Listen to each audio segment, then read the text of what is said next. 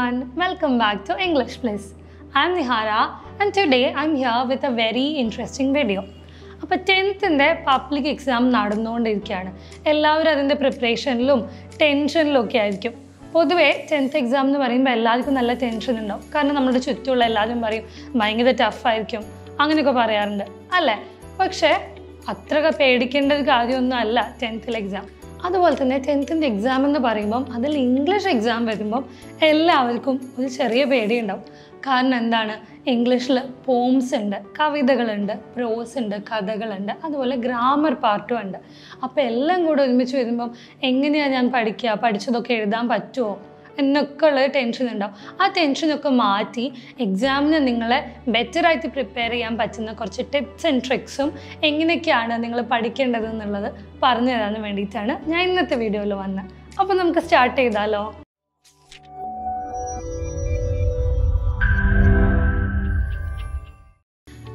ആയിട്ട് ഞാൻ പറയുന്ന കുറച്ച് ജനറൽ പോയിന്റ്സ് ആണ്. ടെൻത്തിൽ എക്സാമിന് മാത്രമല്ല ഇനി ലൈഫിൽ മുന്നോട്ട് വരുമ്പോഴുള്ള എല്ലാ ഇംഗ്ലീഷ് എക്സാംസിനും ആപ്ലിക്കബിൾ ആയുള്ള കുറച്ച് കാര്യങ്ങൾ ഞാൻ നിങ്ങൾക്ക് പറഞ്ഞുതരാം. First one is authors and പോയിറ്റ്സിന്റെ പേരുകൾ ഓർത്ത് വെക്കുക. നിങ്ങളുടെ ടെക്സ്റ്റ് ബുക്കിൽ നിങ്ങൾക്ക് പ്രിസ്ക്രൈബ്ഡ് ആയിട്ടുള്ള സിലബസിലുള്ള കഥകൾ സ്റ്റോറീസിന്റെ ഓതേഴ്സിനെയും അതുപോലെ പോംസിന്റെ പോയിറ്റ്സ് അതായത് അത് രചിച്ച ആളുടെ പേരും ഓർത്ത് പഠിച്ചു വെക്കുക. കാരണം എക്സാമിന് പലപ്പോഴും ക്വസ്റ്റ്യൻ വരുമ്പം അപ്രീസിയേഷനും ഓരോന്ന് എഴുതാനുള്ള ക്വസ്റ്റ്യൻ വരുമ്പം ഇങ്ങനെ ഓതേഴ്സിന്റെയും പോയിറ്റ്സിന്റെയും പേര് ഓർത്തിരിക്കേണ്ടത് വളരെ ഇമ്പോർട്ടന്റ് ആണ്. അത് ഓർത്തിരിക്കുന്നതിന്റെ കൂടെ തന്നെ അവരെക്കുറിച്ച് ഒന്നോ രണ്ടോ പോയിന്റ്സ് പഠിക്കാൻ പറ്റുമെങ്കിൽ അതും കൂടെ പഠിച്ച് ഓർത്ത് വെക്കുക.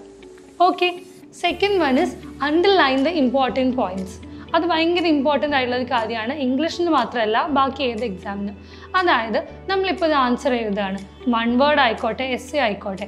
അതിൽ ചിലപ്പോൾ ഒന്നോ ഒന്നിലധികമോ ഇമ്പോർട്ടന്റ് പോയിന്റ്സ് ഉണ്ടാവും. അപ്പോൾ നമ്മൾ എഴുതുന്ന പെന്ന് വെച്ചിട്ടോ അല്ലെങ്കിൽ ഒരു പെൻസിൽ വെച്ചിട്ടോ അതിന് താഴെ ഒന്ന് അണ്ടർലൈൻ ചെയ്യാം. അപ്പോൾ ഇവാലുവേറ്റ് ചെയ്യുന്ന ആൾക്കാർക്ക് പെട്ടെന്ന് നിങ്ങൾ ഇമ്പോർട്ടന്റ് പോയിന്റ്സിലേക്ക് ഒരു അറ്റൻഷൻ പോകും. അപ്പോൾ അതുകൊണ്ട് നിങ്ങൾക്ക് മാർക്ക് കൂടുതൽ സ്കോർ ചെയ്യാനുള്ള ചാൻസും കൂടെയാണ്. നമ്മുടെ മൂന്നാമത്തെ പോയിന്റ് നോക്കിയാലോ നമ്മൾ പഠിക്കുമ്പോഴും എക്സാം എഴുതുമ്പോഴും എക്സാമ്പിൾ സെന്റൻസ് വെച്ചിട്ട് പഠിക്കാനോ എഴുതാനോ ശ്രമിക്കുക പ്രത്യേകിച്ച് ഗ്രാമറിന്റെ കാര്യത്തിൽ. ഫോർ എക്സാമ്പിൾ നിങ്ങളിപ്പോൾ ഹോമോണിംസ് അല്ലെങ്കിൽ ഹോമോഫോൺസ് ആണ് പഠിക്കുന്നതെങ്കിൽ അതിന്റെ ഒരു രണ്ടോ മൂന്നോ എക്സാമ്പിൾസ് മെമ്മറൈസ് ചെയ്ത് വെക്കുക ആൻഡ് അതുപോലെ ക്വസ്റ്റ്യൻ പേപ്പർ നോക്കിയിട്ട് ആൻസർ എഴുതുമ്പോഴും അത് എഴുതാൻ ശ്രമിക്കുക കാരണം നിങ്ങൾ പഠിച്ച ടോപ്പിക്കിനെ കുറിച്ച് നിങ്ങൾക്ക് നല്ല ഇൻ ഡെപ്ത് ഉള്ള നോളജ് ഉണ്ടെന്ന് ഇവാലുവേറ്ററിന് അത് കാണുമ്പോൾ മനസ്സിലാവും. Next one is punctuations punctuations കറക്റ്റായിട്ട് എവിടെയൊക്കെ ഏതൊക്കെയാണ് യൂസ് ചെയ്യേണ്ടതെന്ന് നിങ്ങൾ എന്തായാലും പഠിച്ചു വെക്കണം. കാരണം നിങ്ങളിപ്പോൾ എസ് എഴുതുന്ന ആയിക്കോട്ടെ അപ്രീസിയേഷൻ എഴുതുന്ന ആയിക്കോട്ടെ എന്തെഴുതുമ്പോഴും പ്രോപ്പർ പങ്ക്ച്വേഷൻ നിങ്ങൾ എപ്പോഴും യൂസ് ചെയ്യണം. ഫോർ എക്സാമ്പിൾ പീരിയഡ് ഇടേണ്ട സ്ഥലത്ത് പീരിയഡ് അഥവാ ഫുൾ സ്റ്റോപ്പ് ഇടുക കോമ ഇടേണ്ട സ്ഥലത്ത് ഇടുക എക്സ്ക്ലമേഷൻ മാർക്ക് ഇടേണ്ട സ്ഥലത്ത് ഇടുക കൊട്ടേഷൻ മാർക്ക് ഇടുന്ന സ്ഥലത്ത് അത് ഇടുക. അതൊക്കെ ഇട്ടിട്ട് പങ്ക്ച്വേഷൻ മാർക്സ് ഒക്കെ ഇട്ടിട്ട് കറക്റ്റ് ആക്കിയിട്ട് വേണം നിങ്ങൾ നിങ്ങളുടെ ആൻസർ പേപ്പർ സബ്മിറ്റ് ചെയ്യാൻ. നെക്സ്റ്റ് വൺ ഇസ് ഇതൊരു ഒരു ചെറിയ ട്രിക്കാണ് ഞാനൊക്കെ എക്സാം എഴുതുന്ന ടൈമിൽ നമ്മളൊക്കെ യൂസ് ചെയ്തിരുന്ന ട്രിക്കാണ് എന്താണെന്ന് വെച്ച് കഴിഞ്ഞാൽ നമ്മൾ പഠിക്കുന്ന പോർഷൻസ് ഓരോരോ ചാപ്റ്ററിനെ കുറിച്ചിട്ട് ഓരോരോ ഷോർട്ട് നോട്ട്സ് ഉണ്ടാക്കി വെക്കുക ഫോർ എക്സാമ്പിൾ നിങ്ങളൊരു ചെറിയ കളർ പേപ്പറിലോ സ്റ്റിക്കി നോട്ട്സിലോ ഒക്കെ എഴുതി വെക്കുക അല്ലെങ്കിൽ എവിടെയെങ്കിലും ഹൈലൈറ്റ് ചെയ്ത് വെക്കുക ആൻഡ് എല്ലാ ചാപ്റ്ററിനും നിങ്ങൾക്ക് ഓരോരോ ഷോർട്ട് നോട്ട്സ് ഉണ്ടെങ്കിൽ നിങ്ങൾ എക്സാമിന് കയറുന്നതിന് തൊട്ട് മുന്നെയോ അല്ലെങ്കിൽ എക്സാമിന്റെ അന്ന് രാവിലെയോ അതെടുത്തൊന്ന് വായിച്ചു നോക്കിയാൽ നിങ്ങൾക്ക് പെട്ടെന്ന് ആ ചാപ്റ്റർ ഫുൾ വായിച്ചതിന്റെ ഒരു ഫീൽ വരും. അത്രയും ക്രിസ്പായിട്ടുള്ള ഷോർട്ട് നോട്ട്സ് ഉണ്ടാക്കിയിട്ട് നിങ്ങൾ അതും കൂടെ കീപ്പ് ചെയ്യാൻ നോക്കാം. ഓക്കെ. അതുപോലെ തന്നെ എസ് എ എഴുതുന്ന സമയത്ത് എസ് എക്ക് ഒരു പ്രോപ്പർ പാറ്റേൺ ഉണ്ട് അല്ലേ ഒരു ഇൻട്രൊഡക്ടറി പാരഗ്രാഫ് ഉണ്ടാവും പിന്നെ ബോഡി പാരഗ്രാഫ് ഉണ്ടാവും. ചിലപ്പം ഒന്ന് വേണമെങ്കിൽ ഒന്ന് എഴുതാം അല്ലെങ്കിൽ മൂന്നെണ്ണം വരെ എഴുതാം. അപ്പോൾ ഇൻട്രൊഡക്ടറി പാരഗ്രാഫ് ബോഡി പാരഗ്രാഫ് അതുപോലെ കൺക്ലൂഡിങ് ആയുള്ള പാരഗ്രാഫ് ഇതാണ് എസ് എന്റെ ജനറൽ ആയിട്ട് നമ്മൾ എപ്പോഴും ഫോളോ ചെയ്യുന്ന സ്റ്റൈൽ അപ്പോൾ ഇങ്ങനെ പാ പാരഗ്രാഫ് ആക്കിയിട്ട് തിരിച്ചിട്ട് എഴുതാൻ നിങ്ങൾ എപ്പോഴും ശ്രമിക്കുക. കാരണം നിങ്ങൾക്ക് എസ് എ എഴുതുമ്പം കുറച്ചധികം മാർക്കിനാണെങ്കിൽ എസ് എ ഒരുമിച്ച് ഒരു പാരഗ്രാഫ് ആക്കിയിട്ട് ഒന്നും ഡിവൈഡ് ചെയ്യാണ്ട് എഴുതിയാൽ കാണുന്ന ആൾക്കും ഒരു ഇമ്പ്രഷൻ ഉണ്ടാവില്ല. അതുപോലെ വായിച്ചെടുക്കാനും കുറച്ച് ബുദ്ധിമുട്ടായിരിക്കും. അപ്പോൾ ഇൻട്രൊഡക്ഷനിൽ ഇൻട്രൊഡക്ടറി പോയിന്റ്സ് എഴുതുക. ബോഡി പാരഗ്രാഫിൽ ടോപ്പിക്കിനെ കുറിച്ച് ഇൻ ഡെപ്ത്ത് ഡീറ്റെയിൽ ആക്കി എഴുതുക. ആൻഡ് ഫൈനലി കൺക്ലൂഡിങ് പാരഗ്രാഫിൽ അതിനെ കുറിച്ചും എഴുതാം ഓക്കെ ഇനി നമ്മൾ പറയാൻ പോകുന്നത് ലാംഗ്വേജ് എലമെന്റ്സ് അഥവാ ഗ്രമാറ്റിക്കൽ ആയുള്ള കാര്യങ്ങളെക്കുറിച്ചാണ് നമ്മൾ ക്വസ്റ്റ്യൻ പേപ്പറിൽ ജനറലി വരുന്ന കുറേ ഗ്രാമർ പോർഷൻസ് ഉണ്ടാവും. അതിനെ കുറിച്ച് നമുക്ക് നോക്കാം. ഫസ്റ്റ് ആൻഡ് മോസ്റ്റ് ഇമ്പോർട്ടന്റ് ആയിട്ട് ക്വസ്റ്റ്യൻ പേപ്പറിൽ റിപ്പീറ്റഡ് ആയി കണ്ടിട്ടുള്ളത് ഫ്രേസൽ വേർബ്സ് ആണ്. ഫ്രേസൽ വേർബ്സ് എന്ന് വെച്ചാൽ നിങ്ങൾക്ക് അറിയുന്നുണ്ടാവും. രണ്ട് വേർഡ്സ് കൂടി ചേർന്നിട്ട് വേറെ തന്നെ ഒരു മീനിങ് ആവുന്ന കുറച്ച് വേർഡ്സ് ഉണ്ട്. അതിനെയാണ് നമ്മൾ ഫ്രേസൽ വേർഡ്സ് എന്ന് പറയുക എല്ലാ ഫ്രേസൽ വേർഡ്സും നമുക്ക് എന്തായാലും കാണാണ്ട് പഠിക്കാൻ പറ്റില്ല. സോ മെയിൻലി എപ്പോഴും നിങ്ങൾ പ്രീവിയസ് ക്വസ്റ്റ്യൻ പേപ്പറിൽ കണ്ടിട്ടുള്ളതോ അല്ലെങ്കിൽ ഏറ്റവും കോമൺ ആയിട്ട് നമ്മൾ യൂസ് ചെയ്ത് വരുന്ന ഫ്രേസൽ വേർബ്സോ അതൊക്കെ നിങ്ങൾ കാണാണ്ട് പഠിക്കുക. നിങ്ങളത് മെമ്മറൈസ് ചെയ്ത് വെക്കുക. ഫ്രേസൽ വേർബ് അതിന്റെ മീനിങ് അത് നിങ്ങൾ ജസ്റ്റ് മെമ്മറൈസ് ചെയ്തിട്ടില്ലെങ്കിൽ ഒന്ന് മനസ്സിലാക്കി വെക്കുക. അതാകുമ്പോൾ ഫ്രേസൽ വേർബ് വരുമ്പം ഫില്ലിൻ ദ ബ്ലാങ്ക്സിൽ വരുമ്പം നിങ്ങൾക്ക് ഈസി ആയിട്ട് ഇത് ഫില്ലിൻ ചെയ്യാൻ പറ്റും.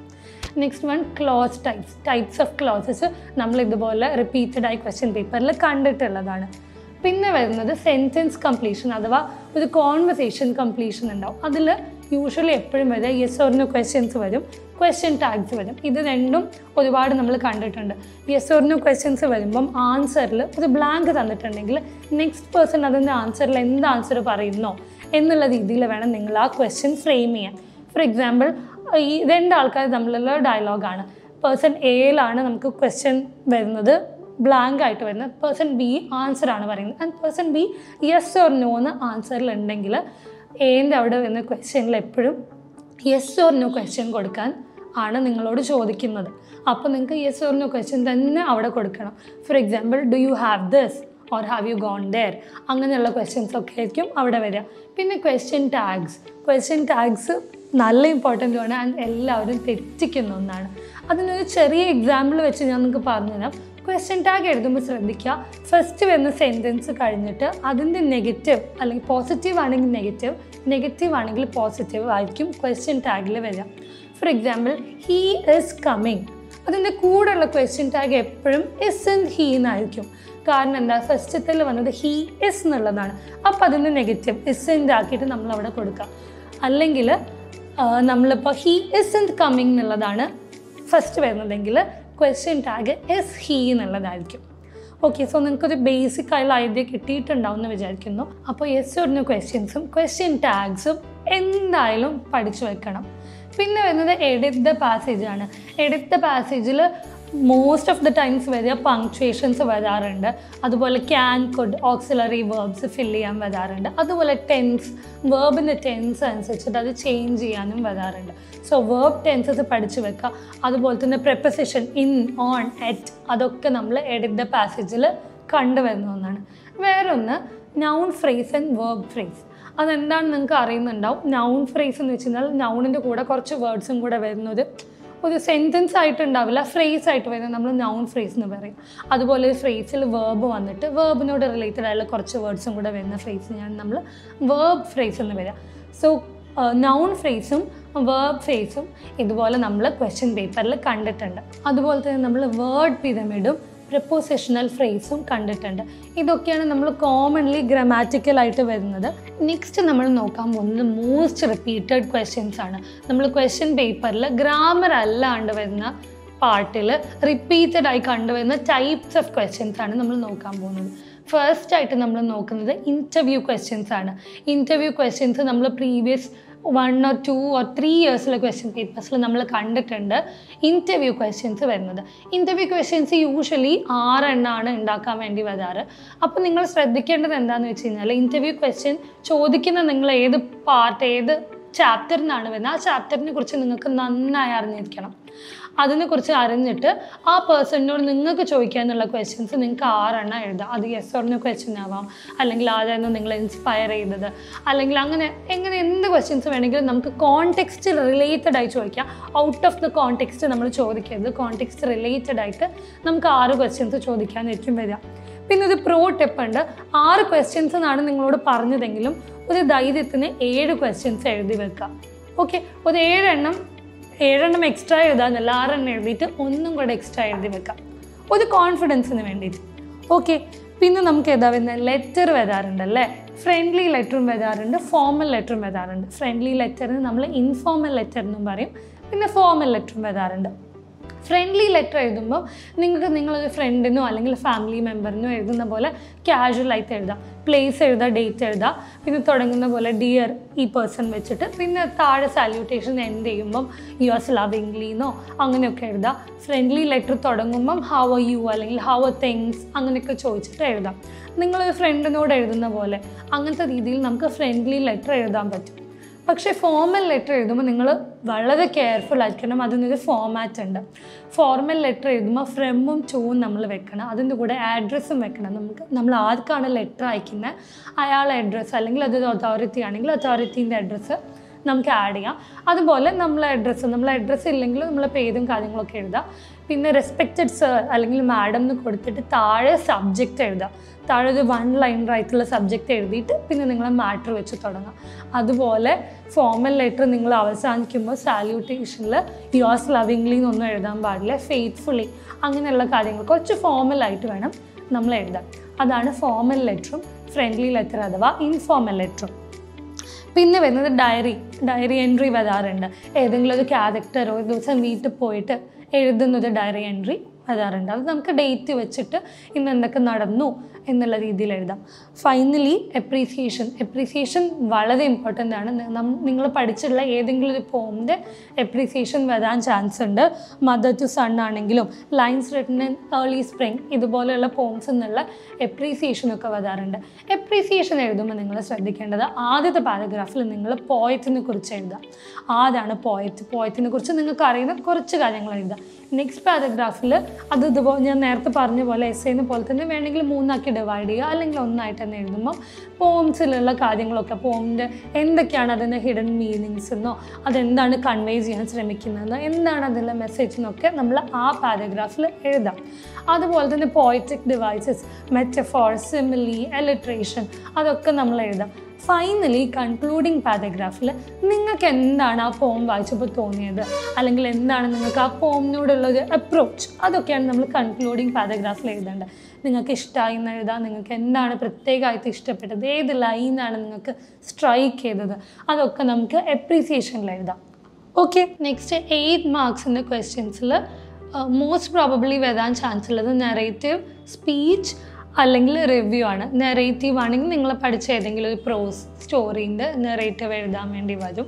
പിന്നെ സ്പീച്ച് ആണെങ്കിൽ ആരെങ്കിലും ഒരാൾ ഒരു ഓഡിയൻസിന് കൊടുക്കുന്ന ഒരു സ്പീച്ച് പോലെ നിങ്ങൾക്ക് വരാം.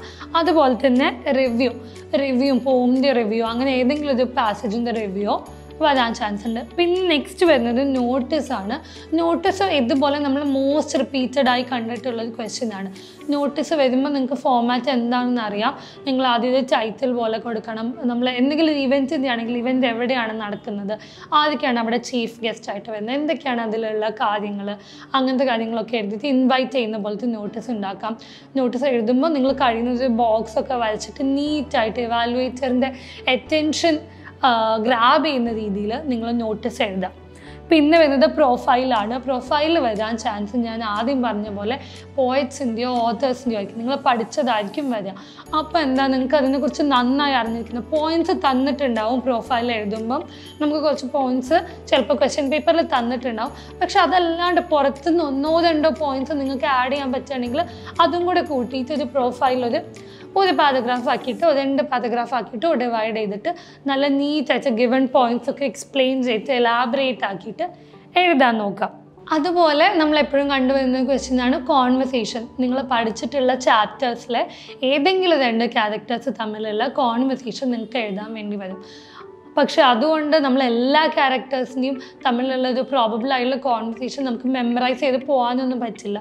പക്ഷേ നമുക്ക് എഴുതാൻ പറ്റും എങ്ങനെയാണ്? കാരണം നമുക്ക് ആ ചാപ്റ്ററിനെ കുറിച്ച് തെറവ് ആയിട്ടുള്ള നോളജ് ഉണ്ടെങ്കിൽ നമുക്ക് അവർ തമ്മിലുള്ള എക്സ്ചേഞ്ചസ് എന്തൊക്കെയാണെന്ന് നമുക്ക് ഇമാജിൻ ചെയ്തിട്ട് എഴുതാൻ വേണ്ടി പറ്റും. ഓക്കെ അതൊക്കെയാണ് മോസ്റ്റ് റിപ്പീറ്റഡ് ആയിട്ട് വരുന്ന ക്വസ്റ്റ്യൻസ് ഇനി ലാസ്റ്റ് ആയിട്ട് ഞാൻ പറയാൻ പോകുന്ന നിങ്ങൾ നോട്ട് ചെയ്യേണ്ട കുറച്ച് കാര്യങ്ങളാണ്. നിങ്ങൾ ഇതൊക്കെ ഒന്ന് ഓർമ്മയിൽ വെക്കണം.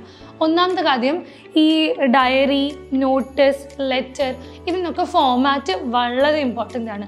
നിങ്ങൾ എഴുതുന്ന കോണ്ടന്റിനേക്കാളും ഓൾമോസ്റ്റ് ഞാൻ പറയുകയാണെങ്കിൽ ചിലപ്പോൾ അതിനേക്കാളും കുറച്ചും കൂടെ ഇമ്പോർട്ടൻസ് വരിക ഫോർമാറ്റിനായിരിക്കും നിങ്ങൾക്ക് ആ ഫോർമാറ്റ് അറിയുമെന്നായിരിക്കും ഇവാലുവേറ്റർ ഏറ്റവും ഫസ്റ്റ് ചെക്ക് ചെയ്യുക. ലെറ്റർ എഴുതുകയാണെങ്കിൽ ലെറ്ററിന്റെ ഫോർമാറ്റ് എസ് എ ആണെങ്കിൽ അതിന്റെത് അപ്രീസിയേഷൻ ആണെങ്കിൽ അതിന്റെ ഡയറി ആണെങ്കിൽ അതിന്റെയൊക്കെ ഫോർമാറ്റ്സ് നിങ്ങൾ നന്നായി അറിഞ്ഞിരിക്കണം. എക്സാമ്പിൾ പോലെ നിങ്ങൾക്ക് വേണമെങ്കിൽ എഴുതി എഴുതി കുറച്ച് രണ്ട് മൂന്നെണ്ണം എഴുതി നോക്കിയിട്ട് ഒന്ന് തറുവായിട്ട് എക്സാമിന് പോകാം പിന്നെ പ്രൊഫൈൽ എഴുതുമ്പോൾ ഞാൻ നേരത്തെ പ്രൊഫൈലിനെ കുറിച്ച് പറഞ്ഞു. പ്രൊഫൈൽ എഴുതുമ്പം ആരെക്കുറിച്ചാണോ പ്രൊഫൈൽ എഴുതുന്നത് അവരുടെ നെയിം കഴിയുന്നതും ടൈറ്റിലിൽ കൊടുക്കാൻ വേണ്ടി നോക്കുക. അതുപോലെ പ്രൊഫൈൽ വളരെ കുറച്ച് ക്രിസ്പായിട്ടേ നമുക്ക് എഴുതാനുണ്ടാവുള്ളൂ. അതുകൊണ്ട് എറർ ഒന്നും വരാണ്ട് നോക്കുക. പങ്ക്ച്വേഷൻ ആണെങ്കിലും ഗ്രമാറ്റിക്കൽ ആണെങ്കിലും ഒരു രീതിയിലുള്ള എററും വരാണ്ട് എറർ ഫ്രീ ആയിട്ട് എഴുതാൻ വേണ്ടി നോക്കുക. അതുപോലെ തന്നെ സ്പീച്ച് റിവ്യൂ റൈറ്റപ്പ് ഇതിനൊക്കെ വേറെ വേറെ സ്ട്രക്ചേഴ്സാണ് എല്ലാത്തിനും ഒരേപോലെ എഴുതരുത്. നെറേറ്റീവിനെ പോലെ തന്നെ എല്ലാത്തിനും ഒരുപോലെ എഴുതരുത്. ഓക്കെ സോ ഇന്നത്തെ വീഡിയോയിൽ നമ്മൾ നോക്കിയത് ഫസ്റ്റ് ആയിട്ട് നമ്മൾ നോക്കിയത് എന്തൊക്കെയാണ്? നമ്മൾ ജനറലി അറിഞ്ഞിരിക്കേണ്ട പോയിന്റ്സ് നോക്കിയല്ലേ? ടെൻത്തിൽ എക്സാം അല്ല. വേറെ ഏത് ഇംഗ്ലീഷ് എക്സാം വന്നാലും നിങ്ങൾ ജനറലി ഓർത്തിരിക്കേണ്ട പോയിന്റ്സ് നമ്മൾ നോക്കി.